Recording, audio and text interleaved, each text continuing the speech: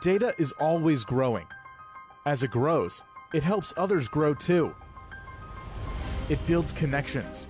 It controls the flow of movement. The world generates data every minute, every second, faster and faster each day. As data gets more and more complex, that's where we come in. Fusionex specializes in data analytics. We get data to work for you. Optimize machine operations. Optimize shipments and freight movement. Discover purchasing trends.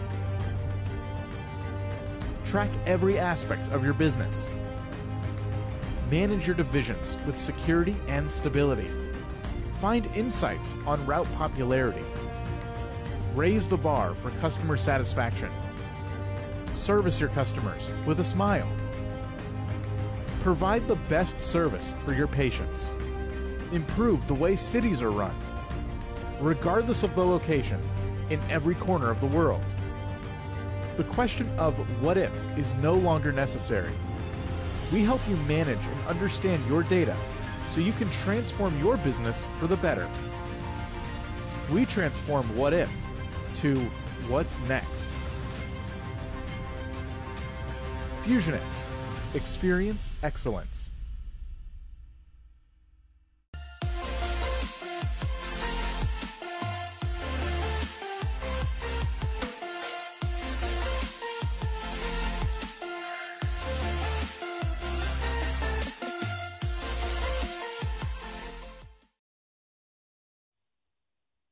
Hello, good evening and salam sejahtera kepada semua. Welcome to Talent Talk Show episode kelima. With an interesting topic for today, seven core competency and skill valued by employer.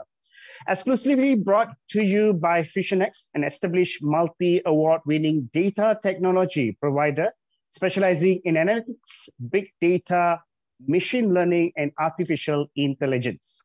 So before we deep dive into today's agenda, let me introduce myself. My name is Kalai, and I'll be your moderator for tonight. And it's an honor for me to be part of this talent talk show. And I hope everyone is coping well with EMCO. Let's be at our best to protect our loved one. Remember this, lindung diri, lindung semua. So for those who still wondering, what is this talent talk show all about? Let me give you a small introduction.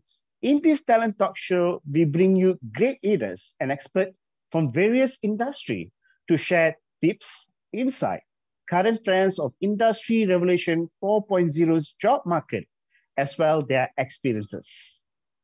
So for those who just join us, please take note that this talent talk show is specially designed for each Malaysian individuals who want to upgrade and grow themselves in today's digital era we want more Malaysians to benefit from this beautiful initiative. So let's do a favor here. So please, before we go on further, make sure you like this video, follow us, and share this live video to all your loved ones, friends, and family groups because you do not know who need what, right? So you want to help somebody, so please share this video. Let's continue to spread this good effort to everyone we really hope more and more people will benefit from this initiative because some people may be shy to ask help from you. But if it's a good opportunity for you to share this, just pass around this message because this is a good initiative, sharing across and helping those needy. Right. This is our fifth episode of Talent Talk Show. And we'll be discussing on a hot topic, seven core competency and skill valued by employer. So now, what is the question now here is, a lot of people have this question in the mind, right? What is core competency? Okay, come. Let's chat with me in the chat box, okay? What is your understanding about what is core competency? Right, you can say hi to me also. I can see. Hi, Janice. Hello. Hi, Ching. Hi. Hi, Nasaruddin. Okay. I can see that. Okay. Right. So, okay, yeah. While you're posting some questions, I know you already have some questions coming up, right? We have, we will definitely take your questions up. But what is your understanding about core competency? Yes. So Salvino say it's all about skills. All right. Okay. Uh, yeah, Arinta Kumar saying that is how we fight with employers to get us higher. Oh, that's awesome. So anyone else, what's your understanding about core competency? Right, you can just chat with us so that we can know. Okay, and you also can type in the questions if in case you want us to share any questions to our speaker tonight. Right, hi, hi, Zikri, hi everyone. Right, nice to have you guys here. right? okay, Loshana Anna say it's your unique strength. Thank Catherine say that special skills that you own that others can't outbid you making you irre- irreplaceable. And Muhammad Fazlan say the ability to use our skills on the correct way. Awesome. We also Hazif Shazwan saying that skills that make you high performance employer. Hi, hi Shahira, how are you? All right. Okay, good. That, I can see you guys are getting engaged here, right? Yeah, Muhammad Shakir have come with a unique, I think very important here. I say that core competency is usually related to non-technical skills. Example, task delegating, effective communication, and extra, etc. Right. Okay, good, good. You can keep sharing that, no worries, because at the end of this show today, definitely going to bring back the answer, the insight, because you have wonderful expert here and who's going to share to you all about the insight. And we're going to use this chance to grab as much as information as we can. Right. What are the definitions that to make everybody understand in a main layman term here? Core competency are the quality and skills you possess. Yeah, they are inherent aspect of your personality or quality you have gained over the course of your professional career. So core competency is going to be helping you have a success in your workplace by improving relationship with co-workers and by helping you to work productively and also achieve your professional milestone, right? So we are here today with an industry expert who's going to share very good insight on guiding you to improve and develop your core competency and key, skills.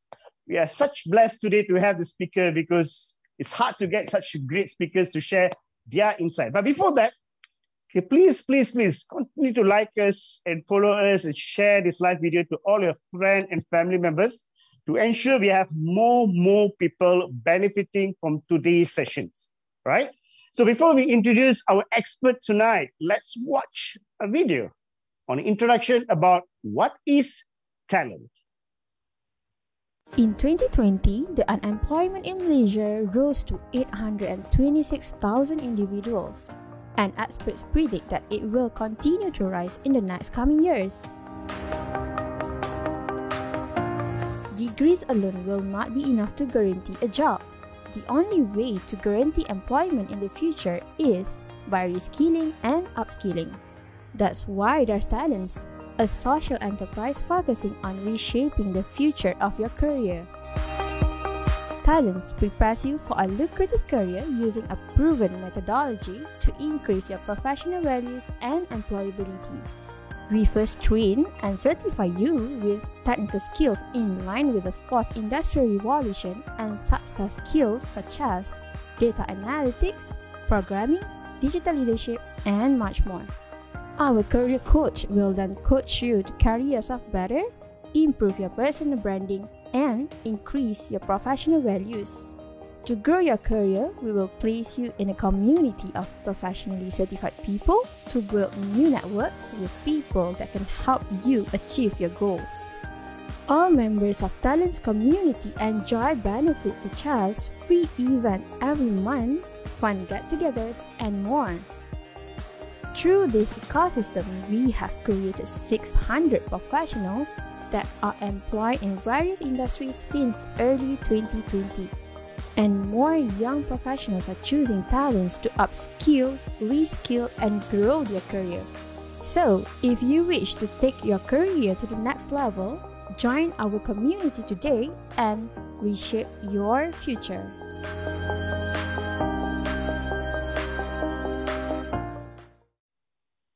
All right, we have seen now what talent's about, so I'm not going to waste time today to talk about further about this because today's topic is going to be interesting topic. So without further delay, let me introduce to you our great speaker for today, who have allocated his valuable time to be with us on his very busy schedule. Very hard to get this person, yeah? So the Director of Human Capital at Malaysia Digital Economy Corporation, MDEC. Let's welcome Encik Nazral Safril. Hi, everyone. Good evening. Uh, thank you, Khalif, for the introduction and warm welcome. It's my pleasure actually to be here this evening. Very good, very good. Uh, salam sejahtera, very good evening, Cik Nazral. Apa khabar, Cik Nazral? Baik, baik. I'm good. How are you guys? I'm good. I'm good as well. Good to have you. More excited after seeing you here. So, Cik Nazral, are you working from home or you're you're still going to office? It depends on the requirement. Basically, the, the requirement is working from home, but sometimes I need to be in the office, um, depending on on you know who called me. If if let's say the, the chairman or the CEOs called me, then I go lah. If if the, the normal that can manage via at virtually, then I'll, I'll do from home. All right, that's awesome. So we, we become normal using the virtual, yeah. All right. Just before that, Mr. Nazral, I would like to say this on behalf of the talents community. We would like to thank you in advance for being our guest speaker for tonight because I think it's a pleasure and we are so, so blessed today to have you today because uh, you have very great experience and we really, really want to shower from your insight today. Right. So now, Mr. Nazral, without, uh, Mr. Nazral, without the uh, delay further, right? So I'm going to go into the questions. Yeah. Right. Yeah um, with nearly 30 years of solid understanding, that's a great numbers of years, 30 years, yeah, in human resource strategy, talent management and development. You're also involved in performance management, organization design, HR operation and solutioning, and human resource management system in various corporate environment, right? So, sir, can you please share to us your experience in people and talent management, sir?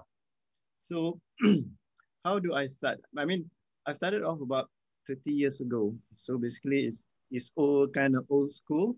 So you can see the changes in terms of the generation that we have from baby boomers moving to Gen Y, Gen uh, sorry, Gen X, Gen Y, Gen Z, and also the millennials. So basically in terms of uh, based on their generation, so there would be a different set of objective, compensation structures, loyalties uh, defined. So basically, it it move away. I mean, from the normal office setting into startups, then into hybrid. So basically now people were talking about startup. So what is startup? For me, startup is just for for for for discussion. Startup normally yeah, yeah. have the red bean bags, the green yellow bean bags, and so forth. You compile together. You have high stool. You have bar table. That is my startup companies. So that kind of mindset it's moving on from the old school toward the, the, the current, then how you do works and how you dress to work. It also uh, is the evolvement, evolving of the talent or uh, what we call this workforce from the previous until today. So there was many round of uh, evolutions have happened across the talents, right? That's a good sharing, sir. Um, so now I'm going to go into a bit deep. You were also the head uh, human resource and administration division in Touch and Go, Sdn Bhd, and regional head HR business partner, and also group asset management and investment in CIMB, and now the director human capital in MDEC.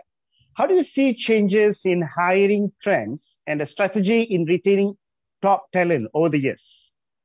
So, uh, what happened previously? I mean, in terms of hiring trends or how do how we do uh, what we call hiring.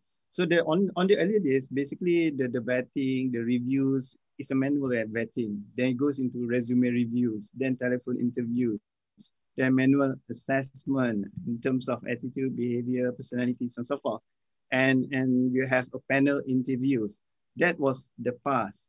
But now, uh, when we talk about the current trend, is mostly on technology, the usage of AI, the usage of natural language processing using communication interaction via chatbot technology.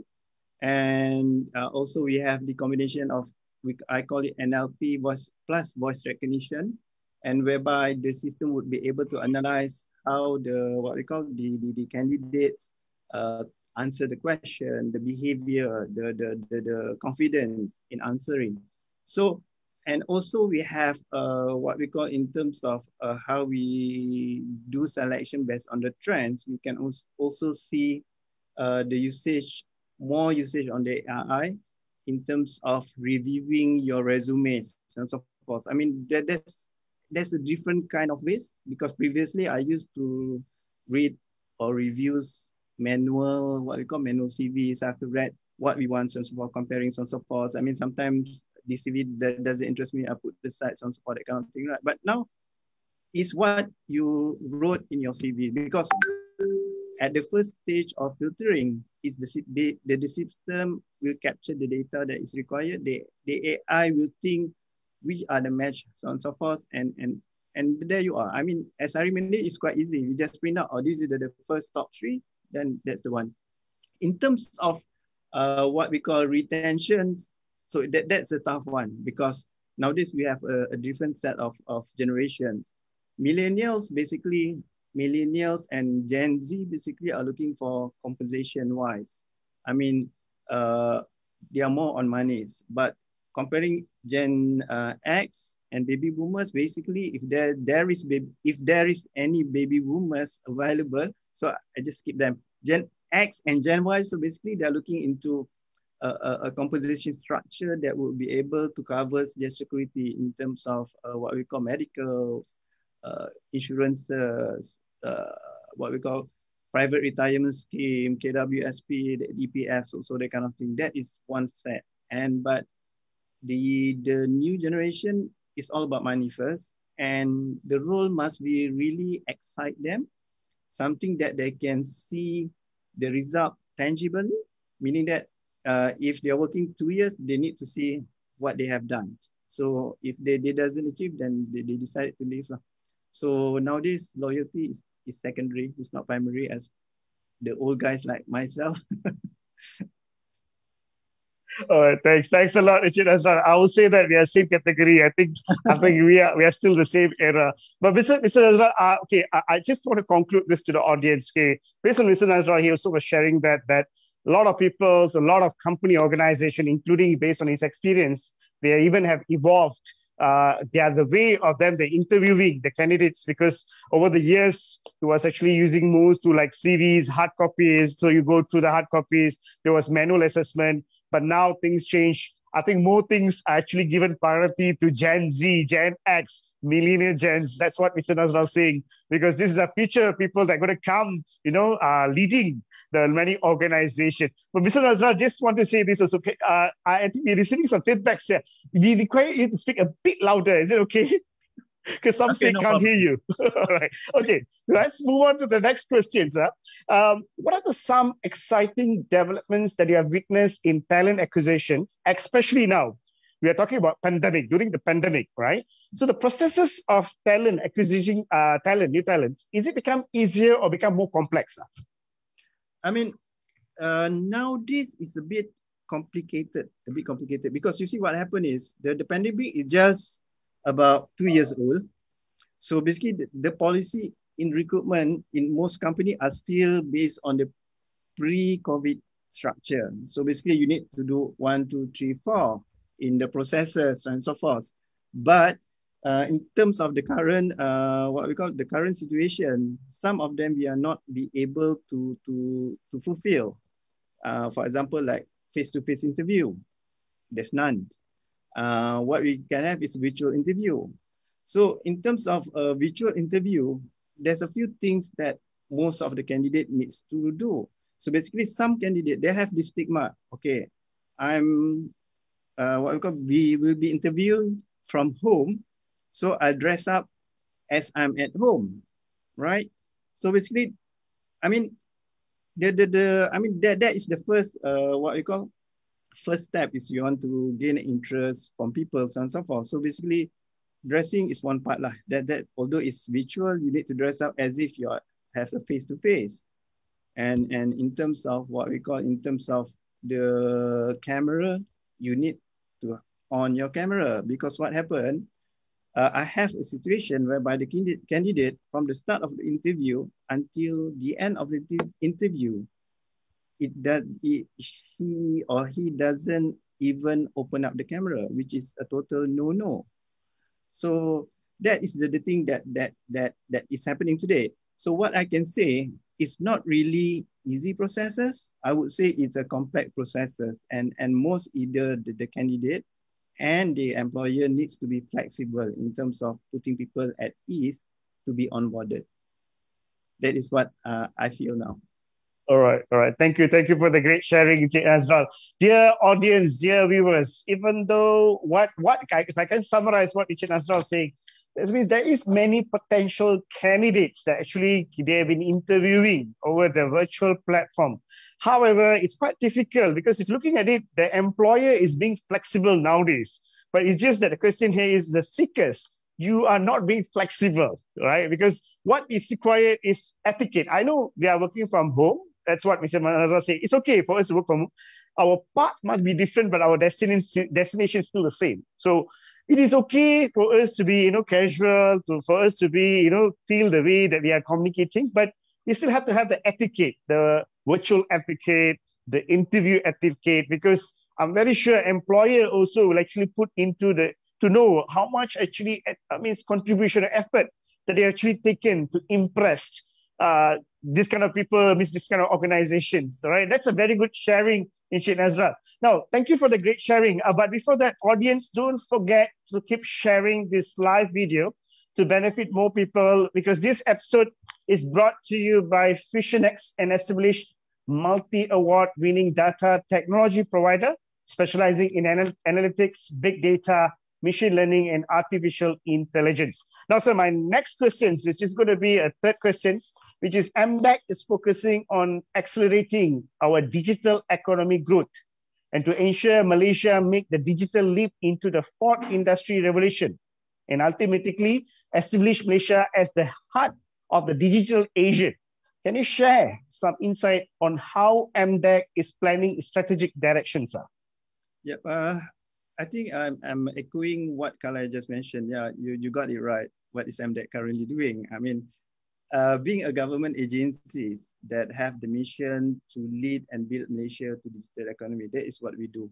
Uh, so basically, uh, we are going to digitalize what uh, we can see in Malaysia. For, for example, our target is mostly on the, the, the what we call on the suburban, the SM, the micro SMEs, uh, the new uh, agri-tech, and so forth, that, that kind of what we call environment or platform. So MDEC is also moving into Malaysia 5.0, whereby we are mirroring the Japanese Society 5.0, moving towards the deeply integrated and with technology that empowers inclusivity of sustainability and shared prosperity. So based on that, our mission is that uh, is uh, to lead Malaysia digital transformation to uh, for equitable digital econo uh, economic opportunities and also giving uh, a globally competitive digital nation, meaning that we want to change Malaysia to be a digital nation. So in, in moving towards that, so MDEC uh, trust would be new skills, adoption, disruptors, and investment. So you, you can have it. That is MDEC trust. Is uh, based on that you can uh, we will we put it as NADI. So when when when we talk about NADI, it's about new skills, uh, adoption, disruption, and investment of uh, the, the, the trust that they, they are uh, looking at. So when we talk about the new skills, MDEC uh, goals is to develop digital skill uh, workforce and communities.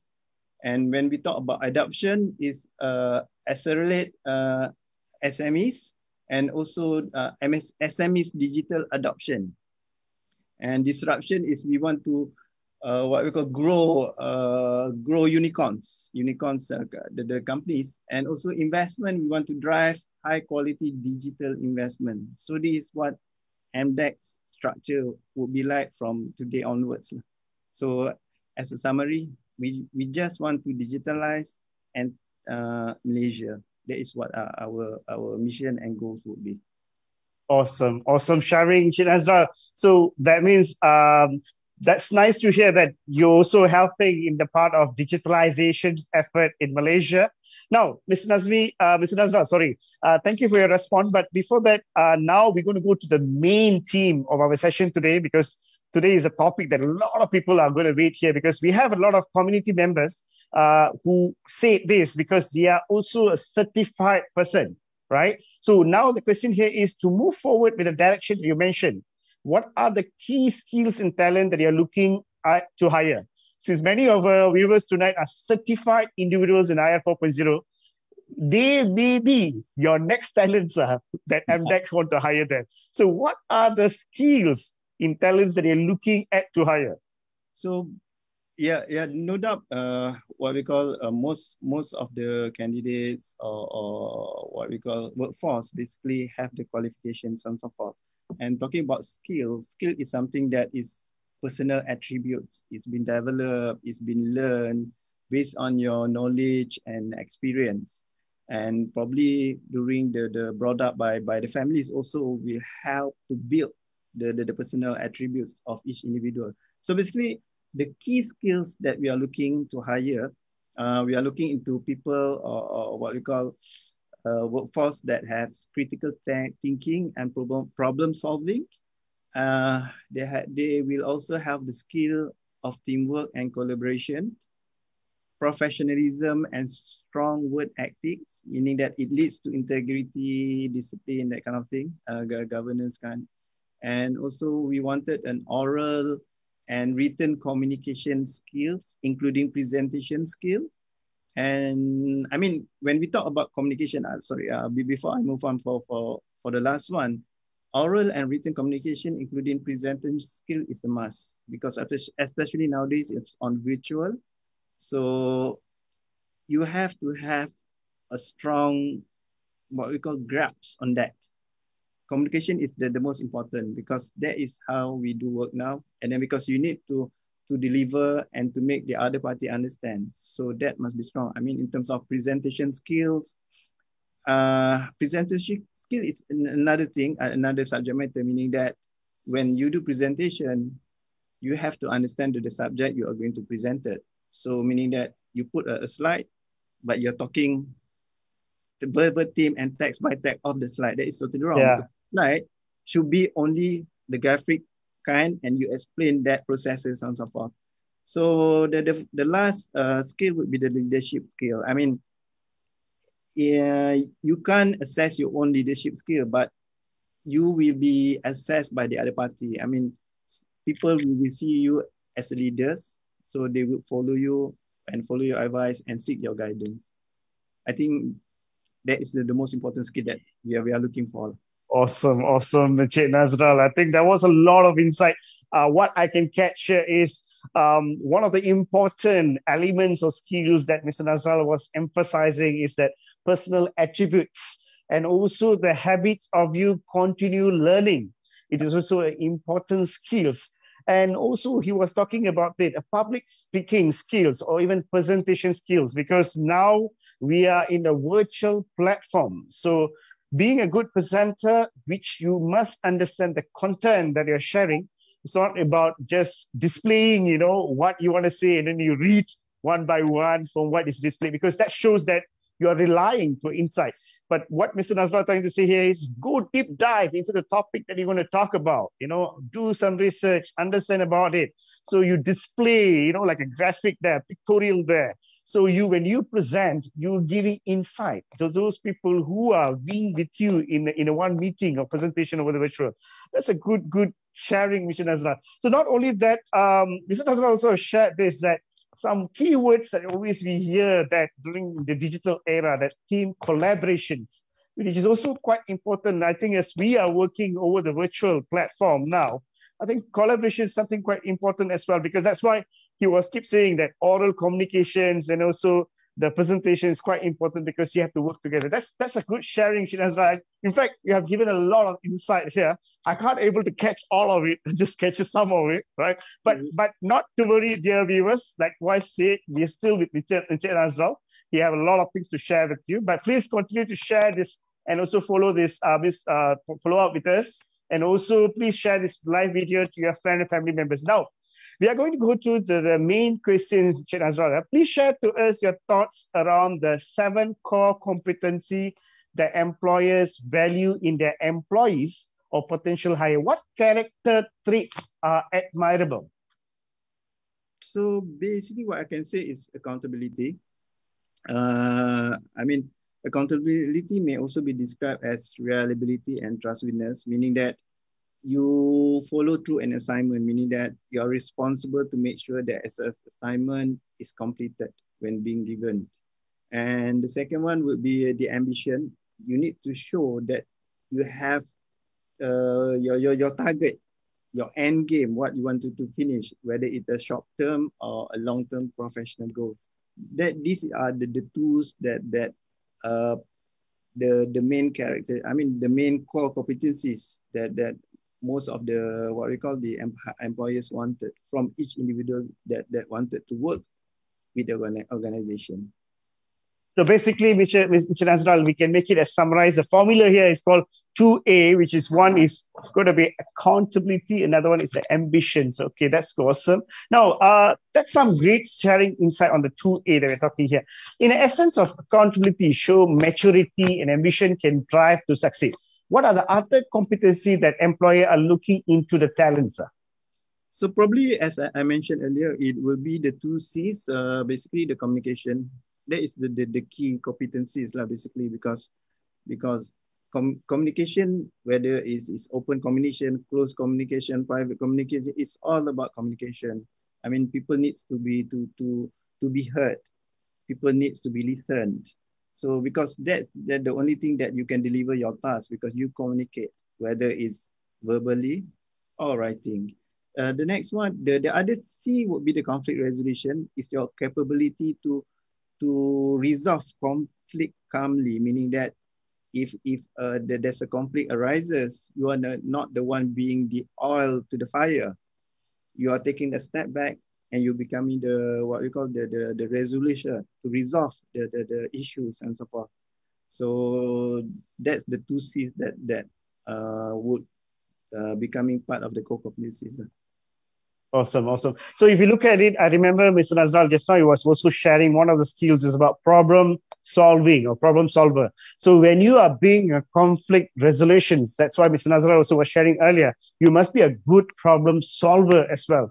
Because there will definitely conflicts everywhere, but you must be a good problem solver, or you can be resolve conflicts calmly and productively.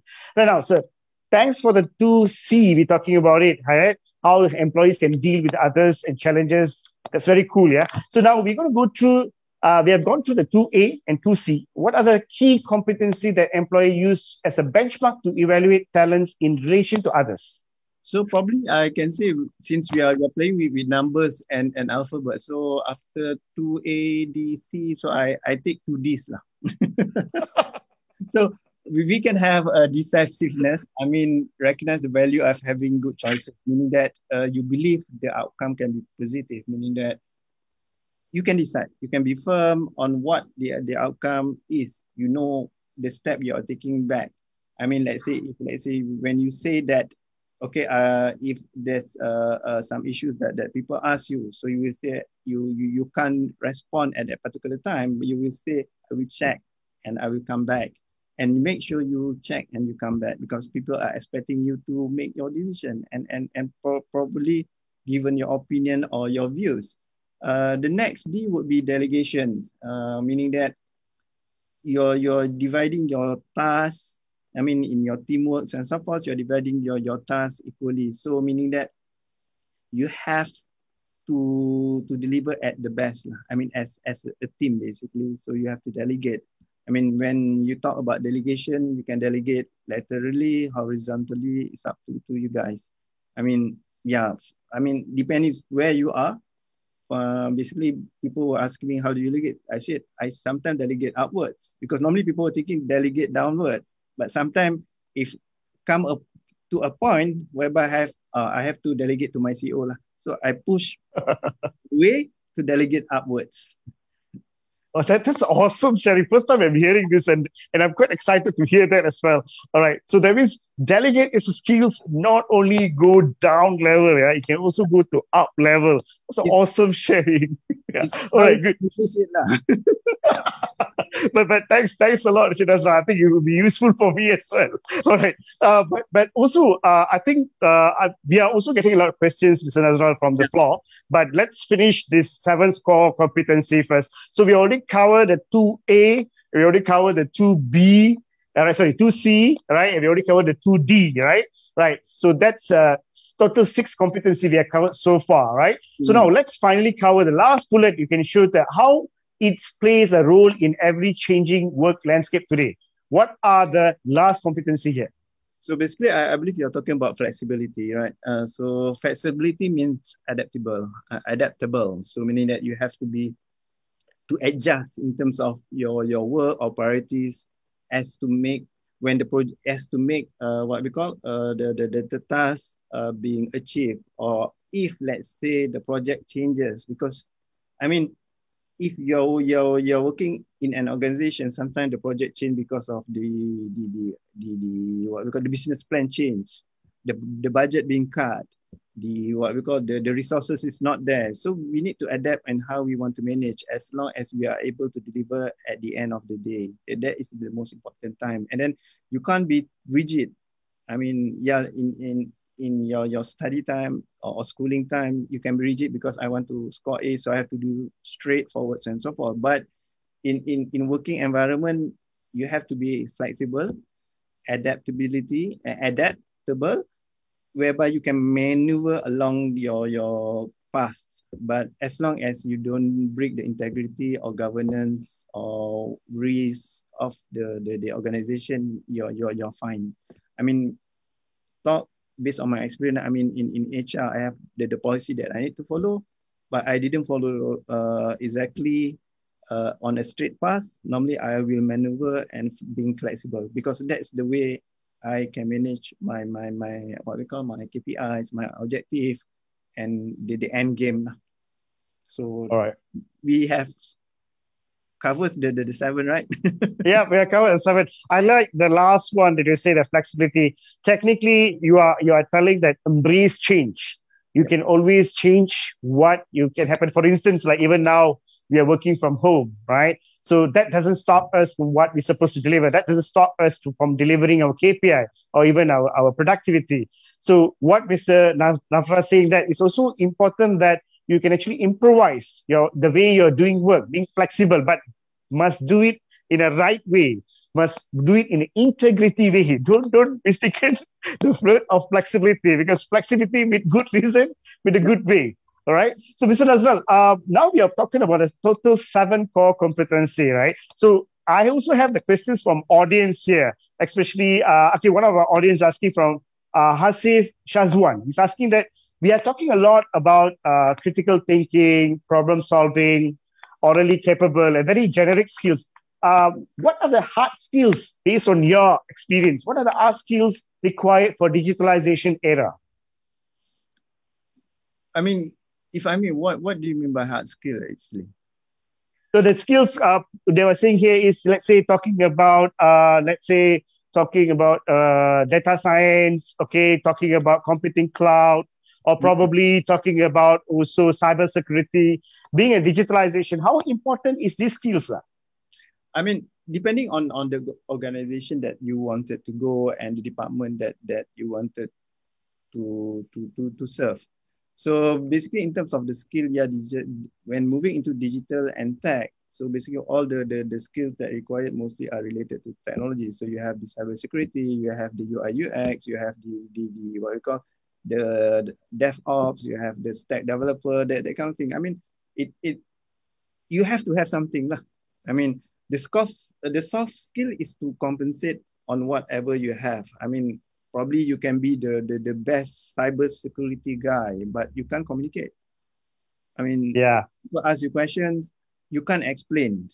So, I mean, how can an organi- I mean, how can an organization or employee understands you what you want and how they think that you can resolve their problems so basically it's interrelated nah. i mean awesome yeah All right, awesome, awesome. So, uh, Hasif Shazwan, so what is Mr. Nazrul said?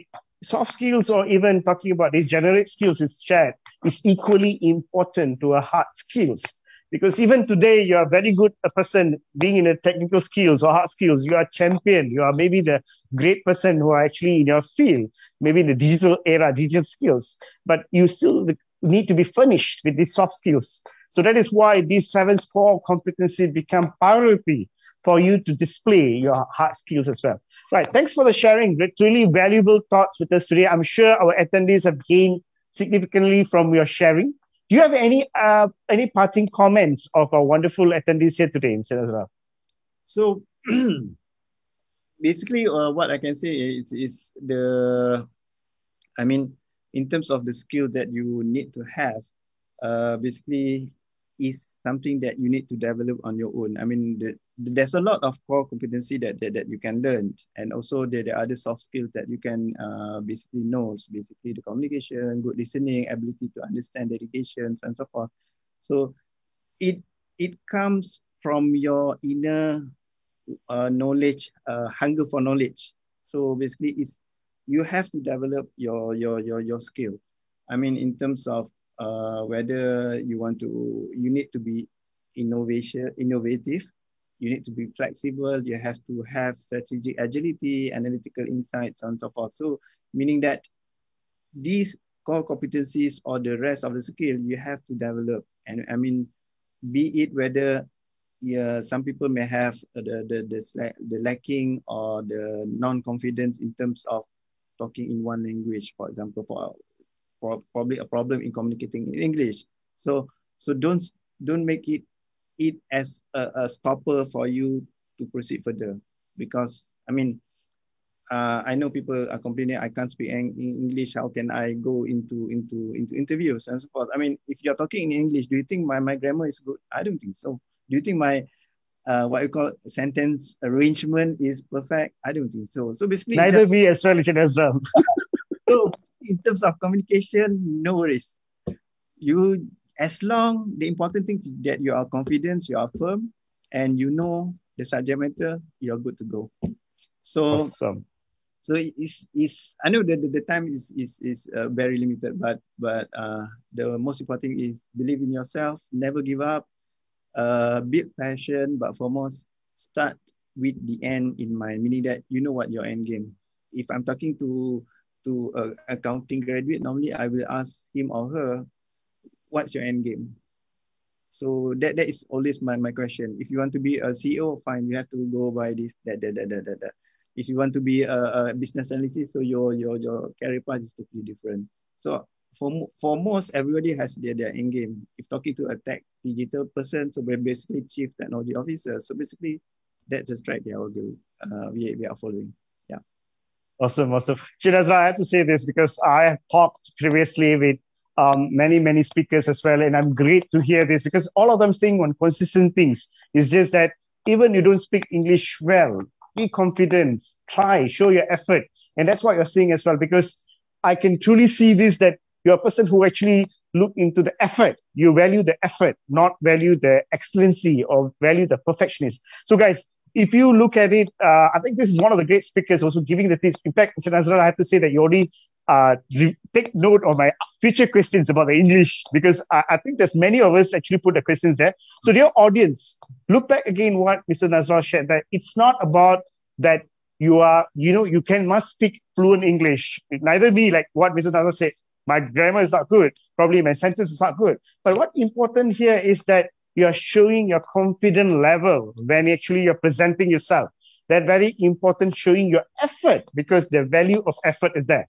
And also, again, I like to hear these the words from Mr. Nazrul say that that continue learn, continue learn because that's something that can actually bring you up, right? So, Mr. Nazrul, we only came to the uh, end of the questions, but now I'm going to collect some questions from the audience, right? Because we have some questions from audience here. Uh, I have one beautiful questions here because since you are have uh, you are you are being the you know in the HR industry here. So there's a question here from Salvino. He's asking this, Nazran, how do you measure this competency when you're talking about seven core competency, right? So when you are having interview, let's say, so how do you exactly measure them, sir?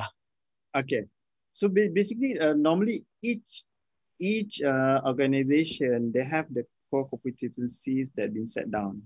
I mean that that been set earlier. So basically, when the interviewers asking questions, so the actually the question is related to the core competencies that they want to look for.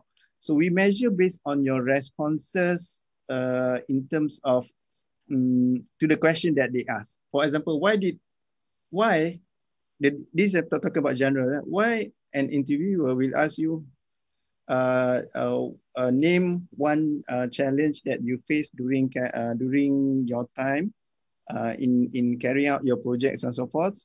And oh, yeah. how do you settle those? That is the most yep. generic. So how you respond to that particular question will will open up to the interviewer the things that they want to pick up. I mean, for example, communication is easy. It's how when the, the first time you open up your yeah. mouth, you know already. Correct. And then in terms of issues, how you manage issues, uh, how do you uh, how do you work with your team? Are you a team or are you a solo uh, okay. Contributor? So that, that kind of thing is totally related to the competencies. If you go, if you if you Google in terms of the frequent or the, the, the standard interview question, you will understand where we want to pick up. Okay, right, great, great. So, Mr. Nazrul, I actually get some tips from HR perspective because I'm not from HR industry, but you are saying this that is actually the questions uh, coming out is based on the sharing of the individuals. So let's say you're telling now, if asking them, hey, how do you carry out this project? Now, do you face any challenges? So if let's say I'm sharing to you, yeah, I face challenges. And so my team member was actually cooperating. So I, I, I just do his job also, you know, that's actually indirectly, I'm trying, trying to say that I'm a solo worker. I don't work with a team. Right. Yeah. So that uh, you catch the hidden point behind of it. Wow. Okay. That's a good sharing. So, guys, so dear viewers, this is how HR perspective, right? When the hiring managers is asking questions, the way you answer the questions is actually reflects your personality, reflects yeah. your traits, reflects your values. Because how you, it's not about they're checking your knowledge of you managing the project. It's during your managing the project, if you face any conflicts, how do you actually manage it? That's why they started to value whether you have the values of teamwork, collaboration, communication, all this. That's a good sharing, Shinazra. Shinazra, I also have this questions. Yeah, yeah, yeah. There's one one more thing. I just uh brought up my, my, my Yeah, yeah, sure, sir. Uh, basically, in terms of the behavior, also we will also check what you post on the LinkedIn or your IG or your Facebook. So oh. So basically, just beware what you want to post. Basically, that will be used as the employer's future reference checking. All right, all right. So, Richard, Richard as well, personally, uh, you also do this checking on the social media platform, is it? Yeah, depending, depending. I mean, all right. On the leveling, so on so forth. If we had, we feel that something's not right, then we look uh, at what is being posted. I mean, we we know right. because because now, nowadays you can see the, the new new youngsters if they are not satisfied they're always rambling at the facebook that kind of thing i mean it will affect them in the future career actually all right, all right. Good, good, good sharing, Shanazral. So what in Shanazral say that the way you've been perceived over the online, you know, whether in a social media platform, let's say your corporate profile, let's say your LinkedIn, the way you respond to certain posts, the way you respond to certain issues are also taken into consideration. It is okay for you to against, but you also have to put it in the right word, right choice of words, because that actually shows your personality. It is not showing your emotions there. Thanks for the sharing, Chin Azral. You're giving a lot of tips for me, actually. okay, Chin Azral. We also have a lot of questions here coming up here. Is that, okay, this is a very common questions they're asking here is that, um, what is the right or the best university program for today's students to enroll in? Or employers are more likely to hire people with what kind of professional certifications? I mean, it depends. It, it depends. I mean, I, I, I can would say, I mean, programs or you you know the, the study in the university for me is something that that that you need is a must have. You need to have a qualification to enable you to to enter the door of employment or for you to pursue your your your education and so forth. But uh what is a must you have now basically i mean most subject we'll we'll put something in terms of technology digitalization if, if you realize nowadays can so basically you have for example like lawyers i mean in terms of law which near to me. For, for example, if you're, you're pursuing law.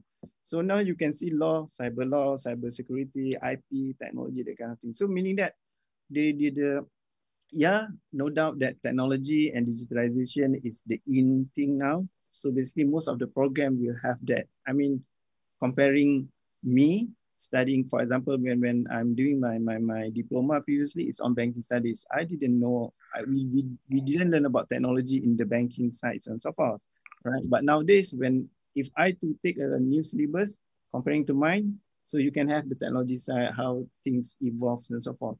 So basically, all uh, programs is good. I mean, they are being tailored and custom to the needs of the current workforce and, and, and the future workforce. But the thing is, although it's being given by the program or universities and so forth, you need to add in something in. I mean, you have right. to add in something. I mean, uh, what I call knowledge is everywhere. I mean, we, we, we can't stop ourselves from learning. I mean, for myself, every day is a new day for me because I learn new things. I mean, new, I met new people uh, we talk about new things. So it's, it's about learning and so forth. I mean, in terms of HR, I mean, if you're, you're going into HR track, so basically you need to add into something about economics. So basically you're becoming an, a, a business partner. I mean, an HR economic kind of guy. If you're becoming accountant, uh, for example, yeah, you have to have ACCA to be a certified accountant, but you have to have, now we call it uh, what we call accounting. Uh, I, I couldn't, re- I can't recall the the the, the exact right. whereby it's about forensic accounting goes into the system whereby he's accountant but is doing the, the system for the accountant uh, track. Understood, understood. So, Mr. Nazwa, can I say that that a part of you having your degree or even your your your your, your, your graduate in a certain field all the field seems to be important now in this digital era.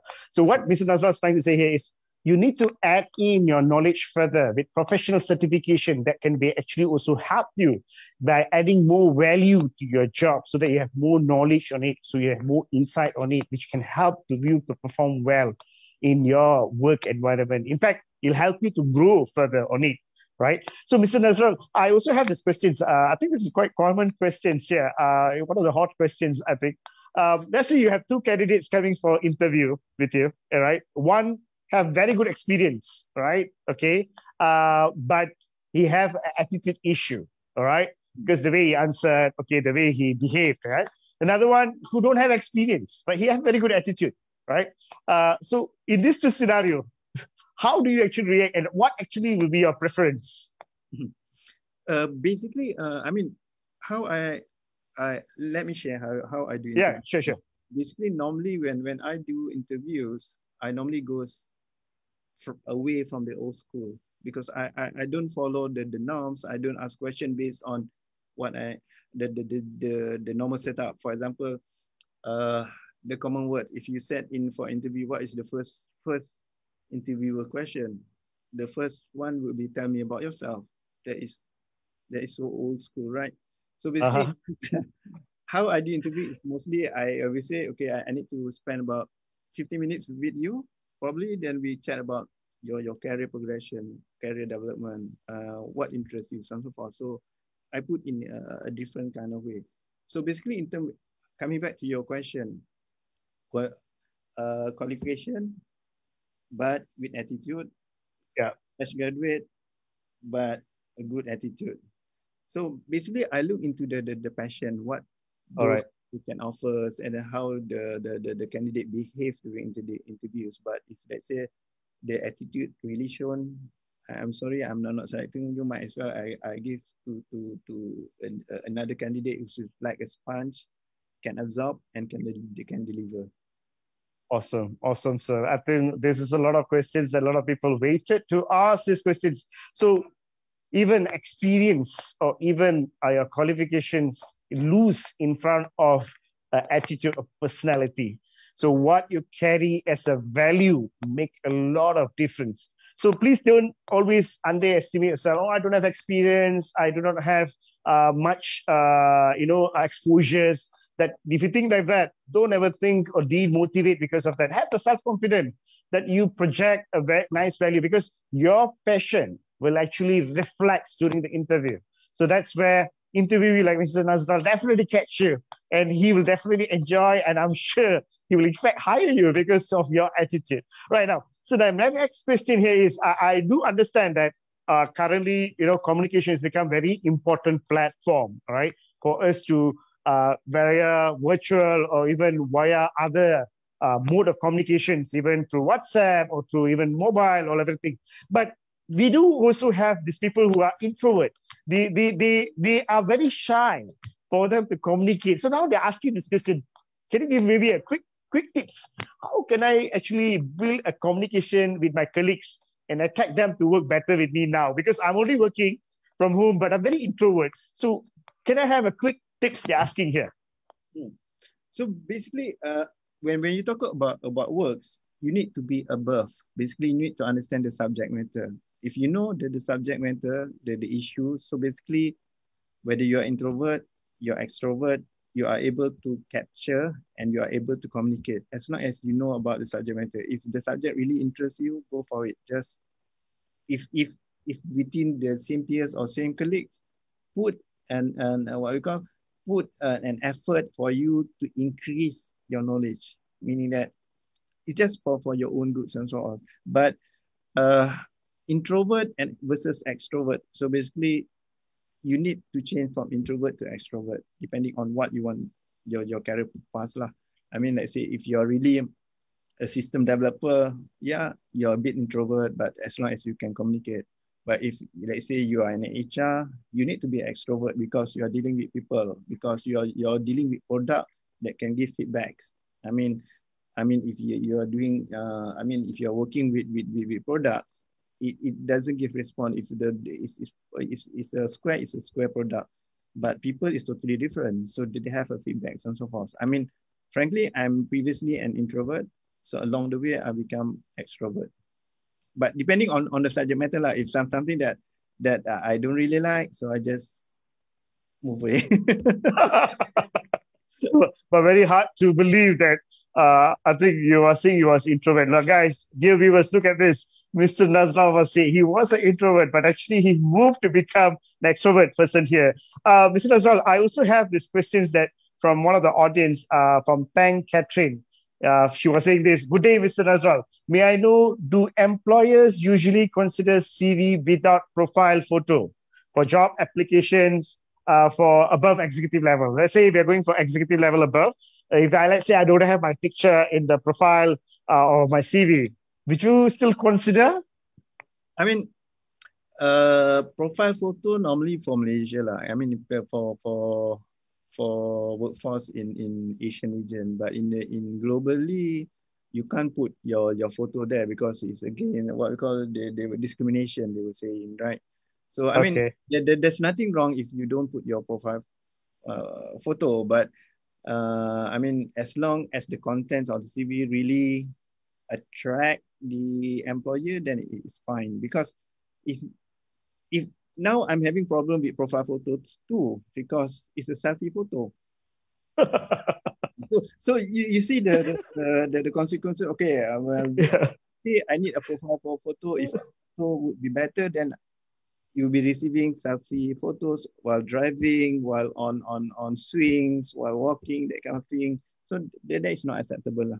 I mean, let's say if you want to put a, a profile photo, put it professionally and acceptably. Don't don't just take a normal selfie or dark face because I received dark face profile photo CV. So what what should I do?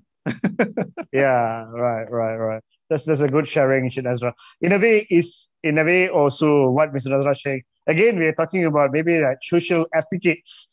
It's also how actually because if you already have intentions to do a photo, I think myself, you just show the right one, you know, because if you really need the job, you have to be in extra efforts by showing your photo so that at least a part of they know who are they expecting to see, right? Who are the person they're going to interview, right? Because I'm sure that even you know who's the person who you're going to see. I'm sure you already do your own LinkedIn profile checking. Who's the person going to interview you? Which manager? Okay, because uh, you want to know who are there. So to be fair, right? Let the interviewee also to, re- to look for you because that is an additional point because the more people look for you in your profile uh, or your corporate profile, it shows that, that they have interest on your on your CV. So that's actually giving an additional uh, you know inputs for them. How are you? Because the way you take, take a picture also is showing which type of person are you. All right. So now uh, I think we, we're going to come towards the end of the questions, but uh, before that, I have this one more questions from this audience. Um, is asking this. Uh, this is quite quite quite. Uh, I think common question. They're worried. I think how to walk the talk. Sometimes we say think we can, but it does not meet the employer expectation.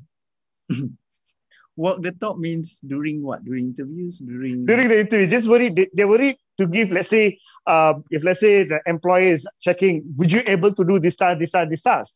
So you are confidently telling them you can do, but you still have the worry inside you. Are you sure you can do or not? Uh, are you sure you are excellent at this? They have the worry. So they, they, they will be part when the when the employer checking, can you do that or not? You know, so they're so scared to tell yes confidently because they are they are new to it probably.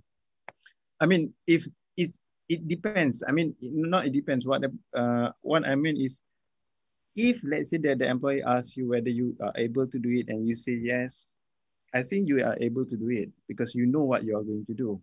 I mean, if if let's say you don't know what how to do I mean, as long as it's aligned now. What I mean is, if the job role is aligned to what you want to do, and and and the role is probably based on your experience, based on your qualification, and it's aligned. Uh, probably you you don't know hundred percent of the the the, the role that they've been uh, the, the task that has been asked, but at least you know about 70% how to do it and how to deliver it. Exactly how you want to manage that. I mean, between your interviews to the to the time that you were given to that particular task, is probably takes you a month or a month and a half after you settle down and so forth. And during that period, you use that period as to learn more about the, the task. So, all right. In a way, you try to curi-curi lah kat mana yang boleh. I mean, it's that's a, that's that's a good one. All right. Uh, so, Mr. Nasrang, uh, in a way, is that that you you are asking uh, any candidates that keep keep showing that you have the interest to learn, yep. even though you take up it, so that even though you take up the role that you're willing to learn. That's something that actually showing an interest to the employer. Uh, sorry, Mr. Azran, uh, I still have a lot of questions that are coming in. Uh, I just take take another two minutes from your time here. One of the questions from uh, Camille Hamzen, right? Uh, my question is, how can a fresh uh, fresh graduate make their resume stand out to get interviewed despite its CGPA is below requirement? That that's a tough one. I mean, not thinking that. Do, do I look at CGPA? I don't. Seriously, I don't. Um, basically, what happened is we look at how you present your CV. I mean, for fresh grad, I know I understand that probably you don't have much to tell because you haven't gone into the workforce yet, so you don't know what how to to to tell a story. But you can tell about your co-curricular activities. Uh, probably you have some NGOs participation, what you have achieved. I mean, in terms of your, for example, you write about something, your final paper, final thesis, just a brief, why you chose that and so forth. So basically in interviewing the, the fresh grad, normally my, my question would be, what's your project paper, why you chose that, what you intend to achieve, how long does it take, how do you work? It's, it's all about what you are doing during the college days, whereby I can relate basically on the core competencies, teamwork, communication. Yeah, yeah. I mean, you you you guys have been in that already. Only that you don't realize it because you think that competency, core competency only start when I enter the, the workforce. It's not. It started when you start studying. Yeah. I mean, it, awesome. working working in a project group, for example, or group assignment yeah. basically is the first entrance for you to work in a team. Yeah, awesome. So, so basically, Encik Nazrul, if I can summarize here, dear audience, dear viewers, you already have probably you already experienced the seven core competency even while you are actually in your own even in the school time or even your home because that's our attributes or traits or even some values you already have it with you the skills or competency you have it with you so what is that you have to do that during this even though you don't have experience is that when you are able to share, you know, when people are asking you about a project paper, it's not they're questioning about your capability of you doing the project. It's about they are checking how can you share your experience, how you do the collaborations, how you take the accountability, how actually you're flexible, so that from business storytelling, that's where they describes about your values. That's a good sharing, Nazrul. Mr. Nazrul, my last question, I'm so sorry, there's many questions coming in, but my last question is from CV, uh, CW Low, is asking that do you expect the workforce to have skills through their higher education or through reskilling program in the workplace? Let's say the workplace, are you still are you expect the workforce uh, to increase their higher education or you expect them to join any reskilling program? Actually, depending. I mean, higher education, I mean, there, there's, I mean, you can't stop uh, people from studying. I mean, reskilling or upskilling or whatever skilling do, if you you you went uh, you you undertake during your your working time is part of your education. So i mean this question is a bit you know balanced now i mean both are equally the, the same. It, it gives the the the the, the the same impact. I mean if you go if you're you're working you're studying masters actually you're increasing your knowledge in certain things. And then how you speak you talk is pretty different if, if you're doing your master, you need to do a group assignment, you need to do a presentation. It affects on how you deliver your presentation at work, actually. So if you go for uh, reskilling or upskilling during your job, it also gives some impact. So it's a bit balanced. So I, I can't give a definite answer of if, if you start to work, you need to go for upskilling. I can't do that because if you're taking higher education during that particular period, it's also give the, the same impact. Only that is one is certification, one is it's a proper long uh, education track. Lah. Awesome, awesome. That, that's a wonderful sharing, Shinazra. I have to say that you actually inspired a lot of people. You have inspired me as well. That hearing a lot of sharing from you, insight from you today. I wish we could have long talk from you because it's hard to get time from people, industry expert like you. I really have to say thank you for your wonderful time. And in fact, I've still extra time from you as well today but before we end to our session here, Ezra, do you have any message to our audience, to community members, Ezra?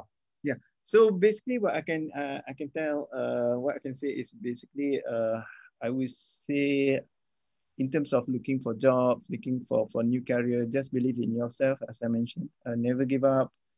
Build passion. So because normally, in terms of when you you walk into an interview door, so basically we can see that, that your your passion in terms of what you want to do or your next career journey is.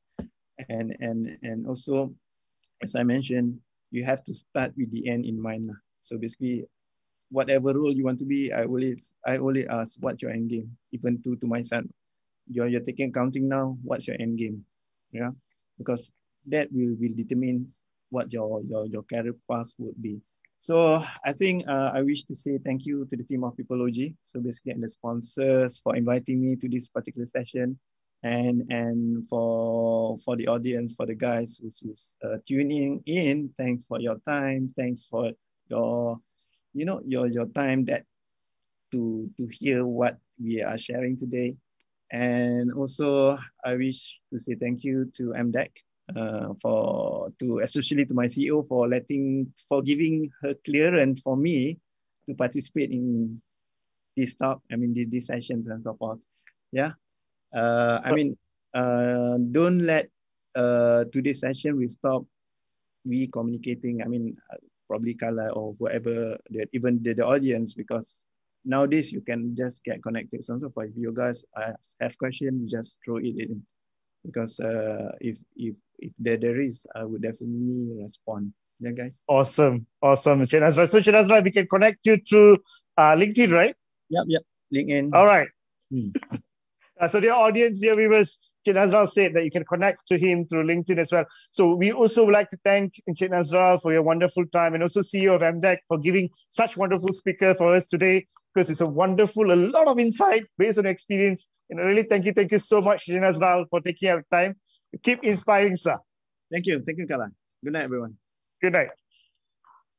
So, dear audience, thank you so much, everyone, for joining our session for today. Today's episode is brought to you by Fusionex, an established multi-award winning data technology provider specializing in analytics, analytics, big data, machine learning, and artificial intelligence. For our next on 9th August, we will have the Vice President from CompTIA that will be discussing about topic how to build your tech future. Learn why you need to live, learn, work, and participate in the digital world. So we will post the registrations, all right, uh, link in the comment below. All right. So what you can do, you can sign up now and kindly register. All right. So once again, what we're saying here is we're going to have on the next episode, which is 9th of August, we will have the vice president from CompTIA that will be discussing about how to build your tech future. Learn why you need to live, learn, and work, participate in the digital world. So the registration link is already in the comment box. Please sign up and also register yourself now. All right. And then also to see you back again on the next episode. Right. Meanwhile, please stay safe, stay healthy, lindung diri, lindung semua. Thank you so much. Take care and stay safe. Good night.